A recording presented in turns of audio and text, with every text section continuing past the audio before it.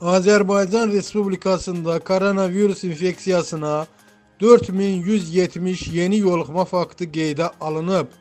1985 nəfər müalicə olunaraq sağalıb və evə buraxılıb. Biqaz xəbər verir ki, bu barədə Nazirlər Kabineti yanında operativ qərargah məlumat yayıb. Son sutkada 38 nəfər COVID-19-dan vəfat edib. Hazırki dövrədəki Azərbaycanda 118195 nəfərin koronavirus infeksiyasına yoluxması faktı müəyyən edilib. Onlardan 73676 nəfər müalicə olunaraq sağalıb.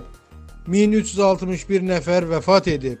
Aktiv xəstə sayı 43158 nəfərdir.